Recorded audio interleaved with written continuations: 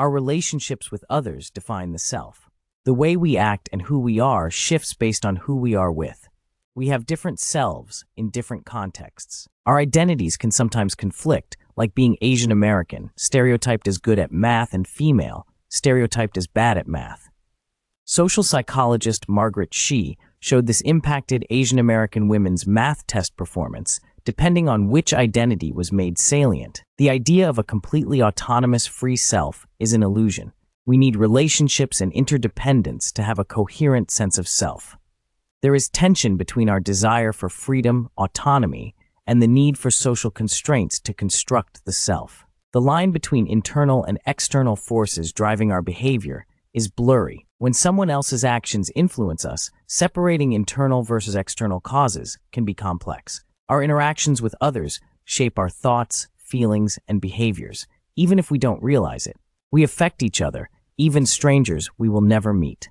The author shaping this book based on imagining the reader is an example. Our daily interactions shape our self, even fleeting ones. True isolation and freedom from others' influence is impossible. The concept of the self is complex and multifaceted. Many streams of thought contribute to our understanding of what the self is. The notion of an autonomous, independent self needs to be revised. Our relationships and social context profoundly shape ourselves. We construct a sense of self to make sense of the world and our place within it. Self provides a vantage point and structure that helps us manage reality, but this constructed self also constrains us. The desire for a stable sense of self can limit self-discovery and personal growth. To truly understand ourselves requires grappling with the fact that we are not entirely free, independent agents. We are interdependent beings, shaped by others. This book will explore the tension between the human needs for structure, stability, and freedom, uncertainty.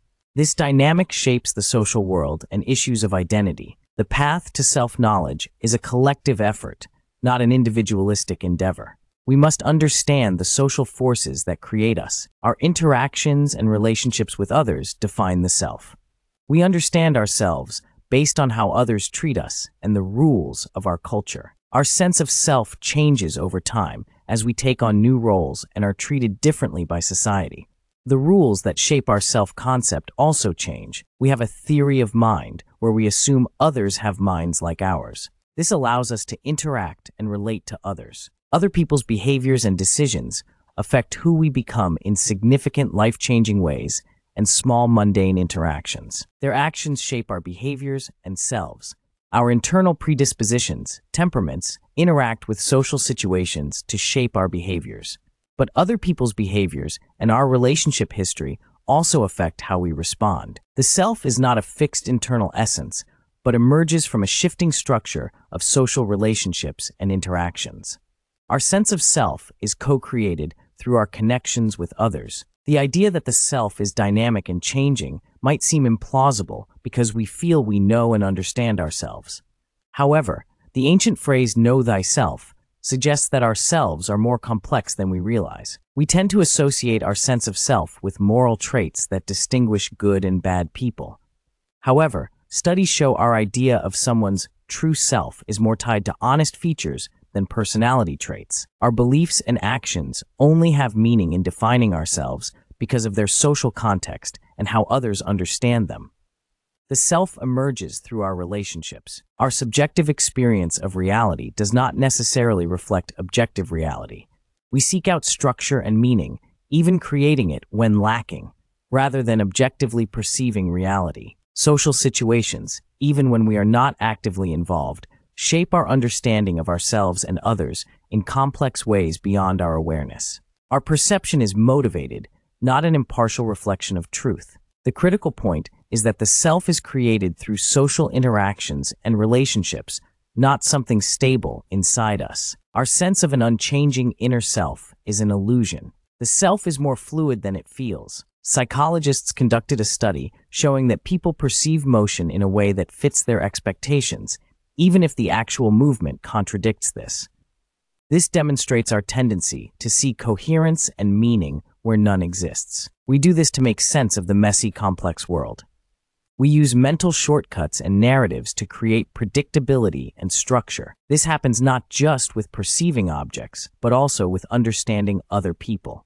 We categorize people into groups and assume similarities between group members to navigate social situations. Despite contrary evidence, we cling to these stories and structures because they provide comfort, security, and a sense of control.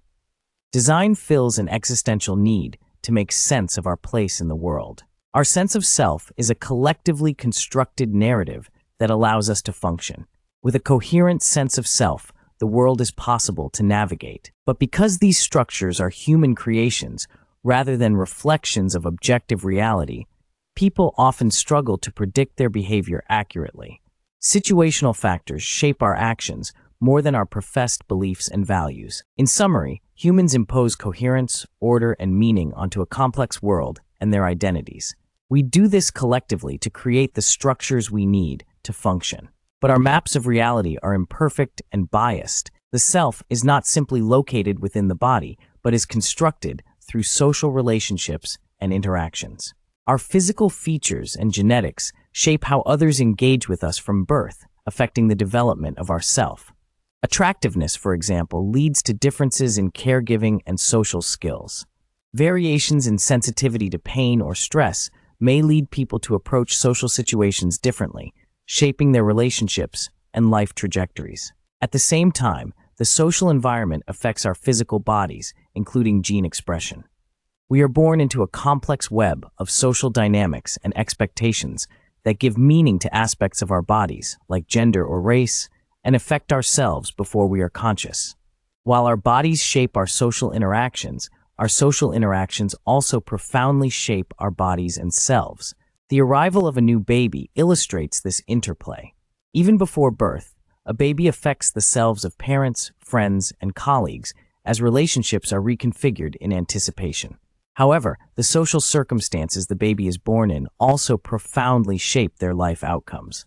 A constant mutual influence exists between our physical bodies and social worlds in constructing ourselves. The modern Western understanding of the self, as portrayed in literature like Dostoevsky's Notes from Underground, involves a lot of self-consciousness, self-torment, neediness, and fear. This disease of consciousness stems from seeing oneself as a social creation and judging that self negatively. This contemporary view of the self gives it special powers, like the ability to reshape reality through our thoughts, as proposed in books like The Secret. This solipsistic idea elevates the self to the creator of reality. However, understandings of the self have changed over time. In ancient Greece and Rome, the self was defined more by social relationships and community ties rather than internal personality. There was little notion of a private, reflective self. Our current focus on the self's power to manifest desires into reality contrasts sharply with historical views.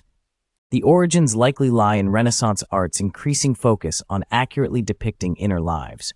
Some argue contemporary Western culture has become increasingly individualistic and self-focused over time, as seen in critiques of the me decade of the 1970s and the me me me generation of today.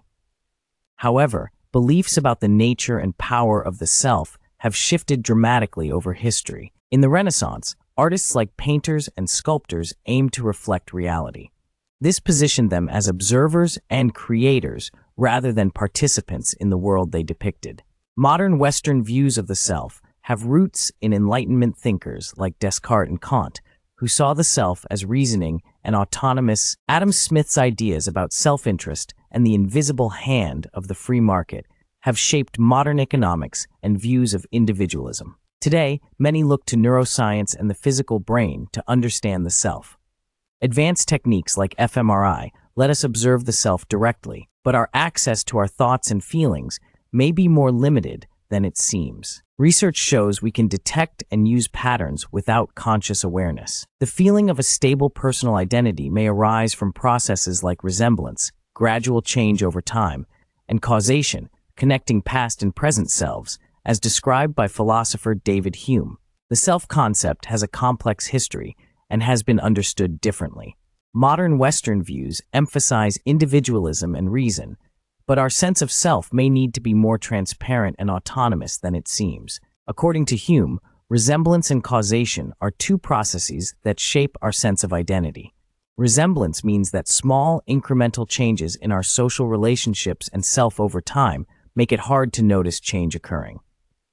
Causation refers to how complex interactions are experienced as a unified whole. Memory plays a crucial role in constructing our sense of self and identity, but memory is flexible and prone to distortions over time.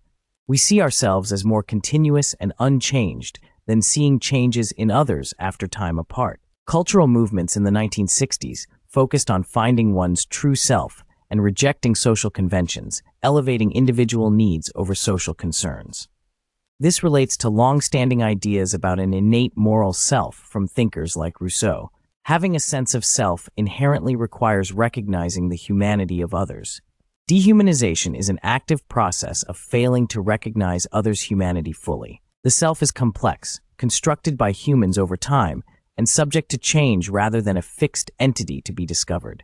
Recognizing this complexity is essential. Here is a summary of the key points made in the passage. Freedom is a concept people highly value and pursue, but its meaning is complex and multifaceted. To understand freedom, the passage breaks it down into three components. The right to do say what you want without someone stopping you. Someone stopping you can take many forms beyond physical restraint, including threats, manipulation of needs, desires, obligations created by roles and relationships, and social political structures that limit options. True freedom may require more than the absence of obvious external constraints, but also internal freedom from compulsions and limitations created by our minds and egos. The passage implies that complete freedom may not be possible or desirable for human beings. We likely don't want to be completely free from all constraints. Understanding the nuances of freedom is essential because the concept is often invoked to justify significant actions and social political structures. We should examine it closely rather than accept its virtue automatically. Living freely is more complicated than avoiding external influences, as it's unclear what it means to do what you want. Your wants and needs are multifaceted. Compulsions, whether internal or external, impede freedom. Even if you are not coerced into an action, like indulging in an addiction, it does not feel freely chosen. The self is fluid, shaped by relationships, so there is no single static you. Different selves emerge in different situations, affecting your experience of freedom. Behaviors of a particular self defined by a relationship may conflict with what the other person wants. Maintaining that self may require rejecting others' demands. The line between compulsion and choice is blurry, Psychological needs or desires, like status or approval, can compel actions as much as biological needs. Cultural context shapes our ideas of what we should want and how we should act.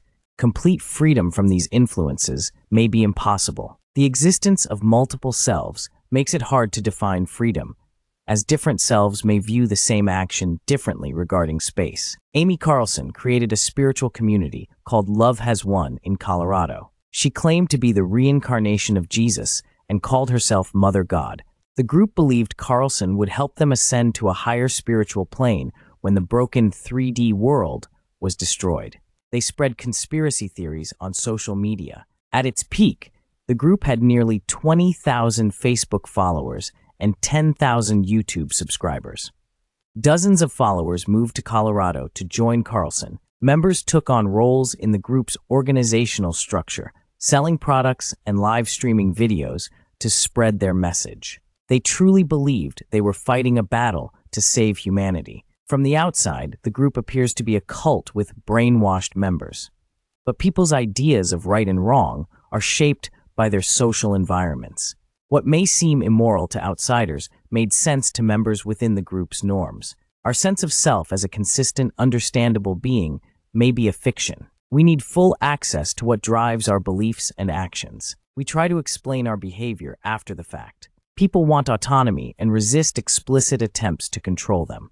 But we willingly enter relationships that shape and limit us, sacrificing freedom for belonging. Complete freedom may not be compatible with human nature and needs. The poem tells the story of Gilgamesh, a two-thirds divine and one-third mortal king, and his partner Enkidu, the gods created to be Gilgamesh's equal. Gilgamesh was terrorizing the citizens of Uruk, so the gods created Enkidu to rein in Gilgamesh's excesses. Enkidu and Gilgamesh have an epic fight, but eventually become fast friends. This relationship with Enkidu changes Gilgamesh and causes him to stop tormenting the citizens. The poem shows an early understanding of how relationships can change us by constraining our freedom. As we form relationships, our sense of self becomes more precise focus, diminishing uncertain possibilities. Who we are is shaped by our relationships. Every relationship makes demands of us and defines us in some way, for better or worse. My interaction with the police illustrates how relationships can limit possibilities for who we can become. We have a deep need for social connection. We see ourselves and others as less human when this need is deprived. We also conform more just to fit in and connect. Subtly changing interests or beliefs to connect with others is expected. Our need for social connection affects our behavior, often outside conscious awareness, as we give up some freedom and individuality to strengthen bonds. But links also expand possibilities for who we can become. There is a constant tension between freedom and harmony. Our interactions and relationships with others shape who we are. Even small things like body language and tone of voice change to match those we interact with to get along. These changes represent tiny limitations on our freedom and constraints on what is possible. Relationships create a structure that defines us. Intense relationships alter who we can become, even from the past. We cannot be people unaffected by those relationships. Sometimes we chafe under the shared reality relationships impose on us. We seek freedom by creating distance from relationships. We need the structured relationships to make sense of the world and navigate life. The version of ourselves we like best exists within the constraints of a relationship. Freedom is powerful because we associate it with being our true selves, but freedom would leave us untethered. Relationships and their constraints allow us to know ourselves. Our close relationships with family, friends, and partners profoundly shape our sense of self. We incorporate aspects of their personalities and views into our own, the closer we are to someone, the more ourselves overlap. It can be hard to distinguish where one ends and the other begins. This intermingling can feel threatening, like a loss of self. But our self is not something pure and isolated. It is composed of unique overlaps between ourselves and close others. Defining ourselves only in contrast to others misses this sharing. We learn the language, social norms, and beliefs about the world through relationships. They form the conduit through which we become human. Severing close ties would diminish the self. The social, the social construction of reality in relationships makes us vulnerable when our sense of self clashes with the world being constructed around us. Gaslighting is one harmful manifestation of this. Overall, embracing the shared, overlapping nature of self created with close others is affirming. Ourselves are intersections, not islands. Close relationships immerse us in worlds that can challenge our sense of self. Partners bring their outside interactions and perspectives into the relationship, expanding our worldview and exposing us to potentially uncomfortable new beliefs or pressures on our identity. Dissatisfaction in relationships often stems from conflicting notions of self that arise from other relationships. Multiple relationships define who we are in one context and may conflict with who we are expected to be in another. Problematic relationships can shape our sense of reality in unhealthy ways, akin to gaslighting or crazy making. If a partner denies or distorts our experience, we may doubt our sanity over time. Completely protecting our sense of self from a relationship may require ending that relationship since our identities are intertwined. We can't fully control how others shape us. Rather than erecting barriers, balancing time across relationships can mute unwanted influences. Spending more time in other communities can blunt the impact of a dysfunctional relationship. Shared reality with others affects how we see the world. Without close relationships, our sense of reality would be impaired, yet dependence on others' perspectives also limits our freedom. We construct reality together. Here are the key points from the passage. Close relationships significantly shape our sense of self and world experience. Family members, friends, partners, and even enemies can have an intimate, visceral impact on us. Our membership in broader social groups like ethnic, national, professional, or alum groups also defines us. These group memberships allow us to make sense of complex social environments. When meeting someone new, we rely on perceiving their social group memberships to guide our interactions and expectations. We don't encounter them simply as individuals. Social identities underlie major societal issues like inequality, discrimination, and polarization. Some argue we should ignore social identities, but they are an inevitable and essential part of navigating a complex world. We gravitate towards similar others and judge new people based on perceived group memberships. A world with social identities would be straightforward to navigate. Overall, the passage argues that intimate relationships and broader social groups are critical in shaping our sense of self and enabling us to understand the social world. Denying the importance of social identities is unrealistic. Here are a few key points summarizing the passage. Social groups and identities help us make sense of the world and our place in it. They provide shortcuts for understanding others based on group membership rather than starting from scratch with each individual. We create social groups and identities. They do not exist naturally. We tell stories about groups that then shape our perceptions of them. Social identities connect us to history, allow us to feel part of something larger than ourselves, and expand our sense of self. Who counts as part of a particular social group can change over time, as seen in the example of the legal case over whether Chinese immigrants could be classified as white. There are costs to social identities as well. We take on the shame, guilt, and pain of the groups we identify with, not just the pride. Overall, social identities are a neat trick we play on ourselves, creating a social reality and shortcuts to help us navigate a complex world full of unique individuals. But the stories we tell about groups shape perceptions more than reflect some innate truth. This passage discusses the social construction of race and racial identities in the United States. Some key points. Race is a social category, not a biological one. Physical traits like skin color vary continuously, yet society imposes discrete racial categories. Racial boundaries and definitions of whiteness have shifted over time. Courts have struggled to determine who counts as white. Racial identities are complex. The existence of people of mixed race shows the fluidity of racial categories. People like Rachel Dolezal challenge assumptions about the link between ancestry, parentage, and racial identity. Her choice to identify as black, despite having white parents, shows race is not just about biology. Racial essentialism, the idea that race reflects some unseen innate essence, persists. This supports beliefs that racial identities are fixed rather than socially constructed. The history of passing also demonstrates the social construction of race.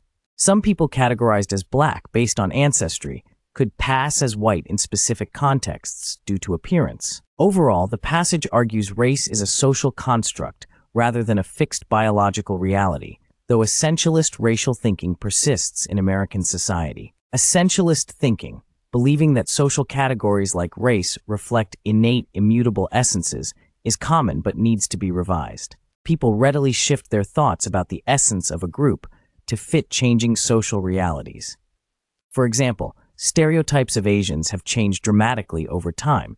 Rachel Dolezal challenged essentialism by choosing to identify as black, upsetting people who see racial identity as immutable.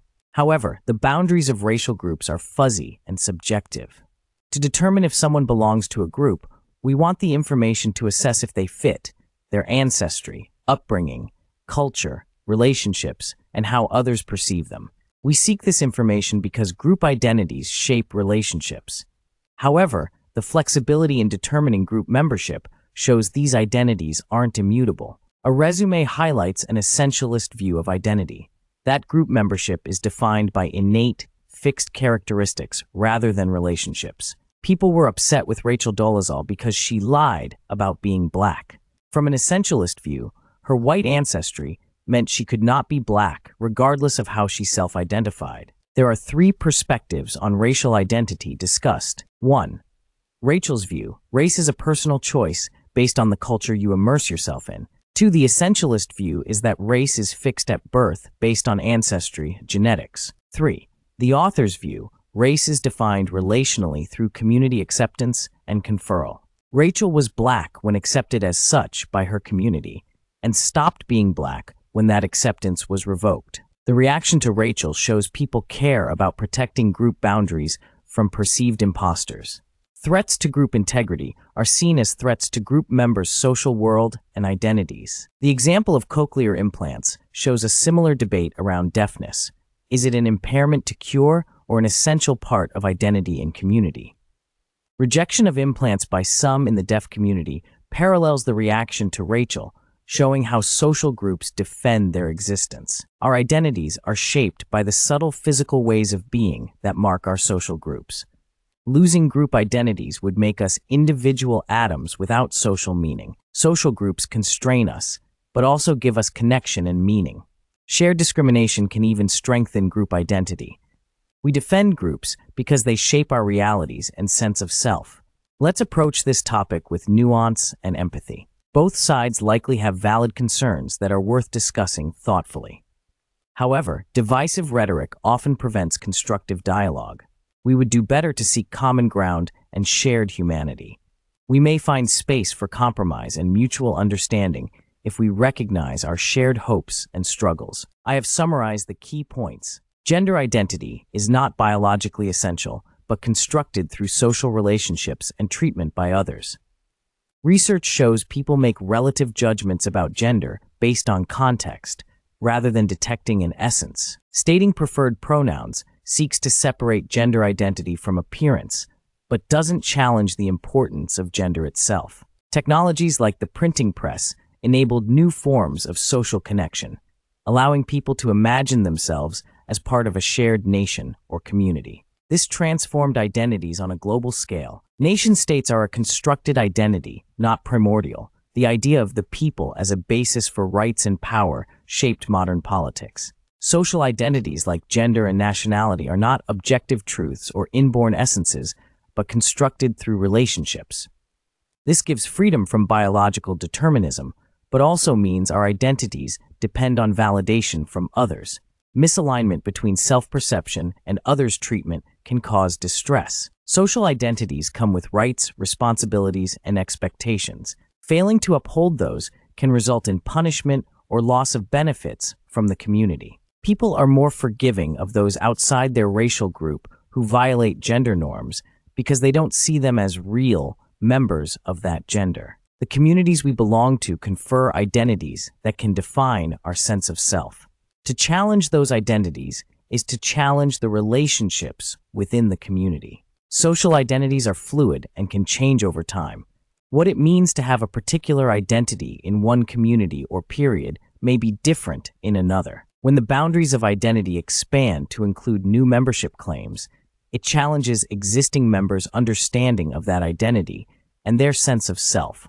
The meaning of any identity is defined by the community that confers it. Requests for inclusion change the boundaries and purpose of that identity for the whole community. Here are a few key points summarizing the passage. Social identities like gender, race, and nationality are defined by the communities and relationships people are part of, not by individuals alone. To change these identities challenges people's sense of self and community. When someone claims a social identity in a way that violates the community's accepted norms, it can feel like a threat to the integrity of that identity and community. For example, Rachel Dolezal claims she is black when the shared black experience is essential to defining black identity. Our understanding of identities like gender has ev evolved through social interactions. Pioneers like Virginia Prince helped create the modern idea of being transgender. We inherit identities shaped by generations before us. Existing social structures and relationships constrain the possibilities for who we can be. Online spaces like social media can reinforce biases if people only interact with similar others. For example, a white woman, Addison Rae, benefits from dances created by black TikTok users. Ideally, the internet would expose us to new people and ideas, but algorithms and selective exposure often show us more of what we already like and agree with. People often like and choose things that reinforce their existing views and tribes rather than expanding their horizons. This is enabled by algorithms that feed us more of what we already like. This reduces growth and freedom, keeping people in their tribes rather than fulfilling the early promise of the internet to expand possibilities. The internet didn't create these biases, but supercharged the ability to indulge them through personalized feeds and recommendations. Our need to make sense of the world demands having a coherent identity and community. Today, this is mainly shaped by nation states and technology. Nation states and technology control who we interact with, what we see, and which groups are valued. This constrains our freedom and autonomy. Communication technologies like the internet were hoped to free us to explore new identities and find new communities, not limited by geography. Instead, we seem to have ended up constrained by curated feeds reinforcing existing identities and tribes. Technology shapes what we remember by enabling virtually unlimited cheap digital storage. But memory is fallible and flexible, which allows us to evolve. In summary, technology and nation states constrain our freedom and identities, though there was hope that new communication technologies could expand possibilities. Instead, they seem to have limited space by reinforcing existing biases and tribes. Our glut of recorded information and digital memories may impair the natural process of pruning memories and forgetting. Forgetting helps us evolve beyond the past, but constant digital reminders of our past selves may limit who we can become. The vast amount of online information leads to choice overload, where too many options paralyze our decision making. Corporations use algorithms to limit our choices based on past behaviors, which reduces novel experiences that could lead to growth. New technologies like the internet may not have delivered the democratization and equalization of voices that was hoped for. Dominant groups continue to dominate online, needing more opportunities to expand social networks. Past communication technologies like paper and printing profoundly impacted human capabilities by expanding how we connect across space and time.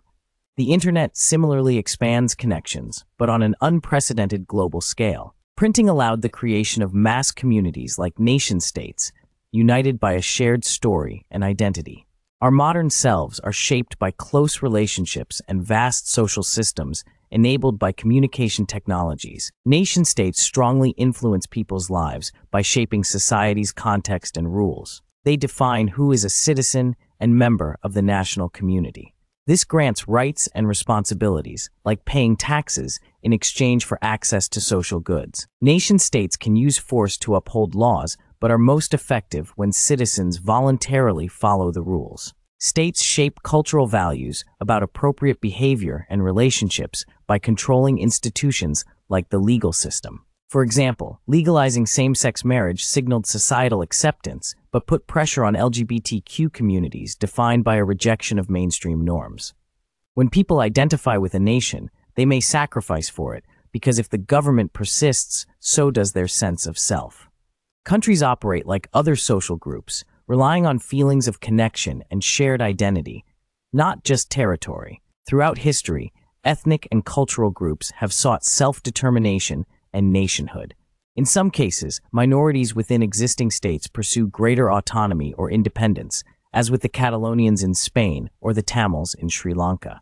Stateless peoples like the Romani, Tibetans, and Kurds also strive for nationhood. Defining the boundaries of the people is a challenge for nation-states. Dominant ethnic or racial groups often structure the state to maintain power and resource access. Challenging the dominant group's control can precipitate conflict and instability. White nationalist fears of replacement in the U.S. reflect how national identity is tied to racial identity. Changing definitions of the nation are seen as existential threats. Where one lives shapes one's relationships and life opportunities. Government policies like mortgage discrimination had lasting impacts by concentrating resources and whiteness in the suburbs.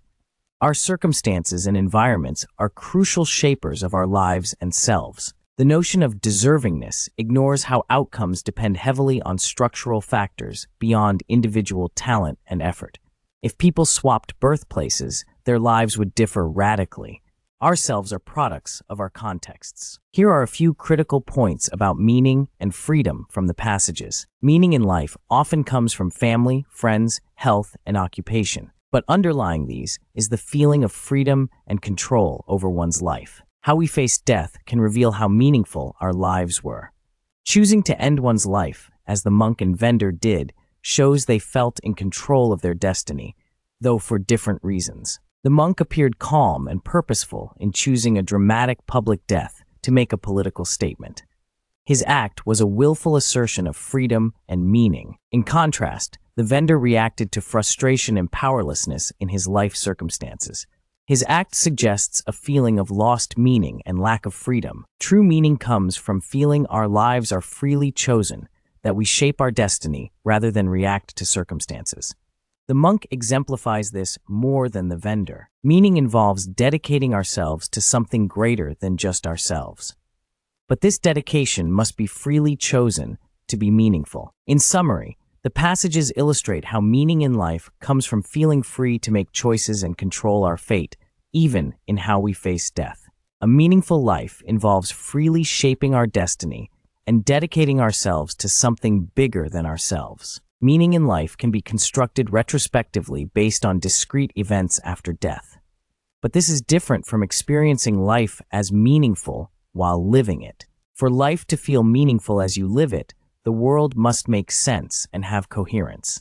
Complete freedom is incompatible with meaning. Relationships and social connections provide coherence and are crucial to meaning. Meaning involves transcending the present moment and having a sense of purpose over time. We construct selves and narratives to give coherence and make sense of the world. Without this, life can feel like an abyss of meaninglessness. Meaning requires more than just coherence. It also involves purpose and goal-directed behavior. Actions feel more meaningful when tied to future goals and a sense of direction. The feeling that our choices matter is central to meaning. This requires connecting our actions to things beyond ourselves that feel significant. Sense stems from transcending our trivial concerns. Meaning arises from social connections and coherence, having purpose and goals for the future, and feeling that our lives matter beyond survival. It connects us to things more significant than ourselves. Whether life is meaningful depends on whether we feel connected to something larger than ourselves, like we have an essential role Meaning can come from believing our actions contribute to ideals like justice and human dignity. Viktor Frankl argued, we can choose our attitude in any circumstance, and this choice gives life meaning. The man with HIV found meaning not in the outcome of tending his tomato plants, but in caring for them.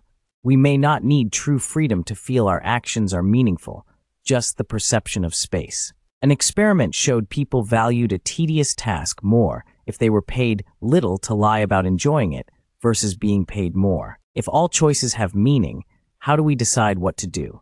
The ideas of weight, where our actions reverberate, and light, where they fade into indifference, provide contrasting views. Overall, the perception that we matter and our actions transcend the moment may be the key to meaning, regardless of true lasting impact. The human desire for meaning stems from wanting our actions and lives to have lasting consequences beyond the present moment. If our choices lack future impact, they feel insignificant. We want to believe we can extend our self into the future through social connections and legacy. This gives us a sense of immortality and weight. Death threatens this desire for continuity. But the self does not wholly reside in the physical body. As relationships change, parts of the self die while new selves are born. With a social conception of self, physical death does not necessarily constitute the end of self. Pieces of us live on through memory and impact on others. The nature of death and self reminds us that we are interconnected. Ourselves ripple out to touch others even after bodily demise. This offers a sense of meaning and continuity amid impermanence. The concept of death is complex. Medical death does not necessarily mean all bodily functions have ceased when the heart stops. Even if the brain shuts down, some parts may continue. So the line between life and death is blurry. If we could revive someone after their bodily functions stopped, were they dead? This raises philosophical questions about what constitutes personal identity and the self. Humans have long sought immortality through various means like elixirs and new technologies to freeze bodies or upload minds. But would an uploaded mind be the same person? Our selves are tied to our physical existence and social relationships. Rather than fearing death, we may fear the decline and loss of vitality before death, or fear separation from loved ones. But death itself may be oblivion. The author believes the self can outlive the body for a time after death through memories and impact on others. But eventually, the self also dies as it is forgotten. We should appreciate conscious experiences, as the author does not believe conscious experience persists after bodily death.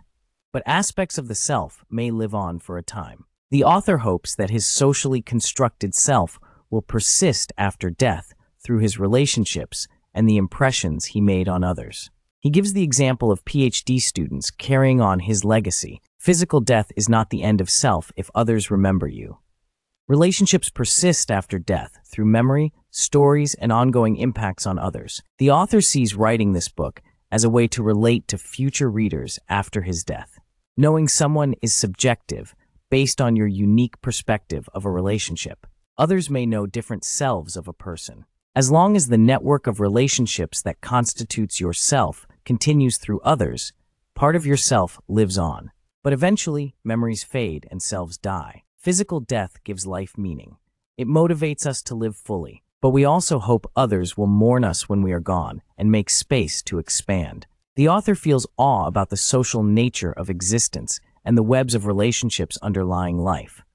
Death brings this into focus. The book has aimed to examine how understanding the self as a social creation rather than an essential inner core affects how we live and think about life. This view challenges common assumptions that we have an unchanging inherent self that defines us. Instead, it proposes that the self is created through our relationships and interactions. Many people may resist this view because it implies less individual control and freedom. However, it can lead to greater humility, responsibility, and understanding of ourselves and others. Relationships exert power through affirming or denying possibilities of being. Everyday interactions shape identities. Communities confer identities, which is a source of their power. Fighting for identity is an existential struggle which politics taps into. Rethinking beliefs about the nature of self affects views on what we deserve, aim to accomplish, and what makes a good life. It suggests looking to relationships, communities, and identities for insight rather than an inner core. This view of selves as social creations may allow greater forgiveness, patience, generosity, and stability. It can make life easier to understand and bear. Here is a summary of the key points from the references provided. The concept of self is complex and multifaceted. Individuals have a continuous sense of self despite changes and possess multiple social identities. Personality traits show stability over the lifespan, suggesting an enduring self, but situations can also change behavior. The self is both stable and malleable. People tend to think their perceptions reflect reality, and others share their inner states, illustrating naive realism and shared reality bias. Individuals are motivated to perceive order, structure, and patterns in the world. This provides meaning, control, and reduces uncertainty. Stereotyping allows quick judgments but can lead to inaccurate generalizations. Individuals also conform to social norms and roles. The self is flexible and incorporates external items or perspectives. Illusions like the enfacement effect highlight the malleable nature of self-identity. Attractiveness, status, and hierarchy impact individuals' perception and treatment. This in turn shapes the development of self-concept. The self emerges from inner traits and outer social contexts. It balances continuity and fluidity in adapting to life circumstances. Here is a summary of the key points from the sources provided. Recent research indicates that belief in a true inner self or real me is widespread, but evidence may not support this belief. The idea of an authentic self has roots in ancient philosophy and became influential during the Enlightenment. Belief in a true self is linked to psychological benefits like well-being. Still, it could also promote biased thinking about others, like dehumanizing outgroup members seen as lacking the valued true essence. The sources trace the history of belief in a true self, examine correlations with well-being, and study how this belief impacts moral judgments. Evidence suggests the idea is cultivated by culture and socialization. Challenges to the idea of an authentic self include findings from psychology and neuroscience indicating people lack self-insight and self-knowledge, and constructive memory distorts autobiography. The self may be more fragmented and context-dependent than people assume. Some scholars argue belief in a real me encourages individuals to resist social conventions and assert autonomy. However, belief in an inner true self could also lead to intolerance of deviance and harsh moral judgments of others' actions that violate their essential nature.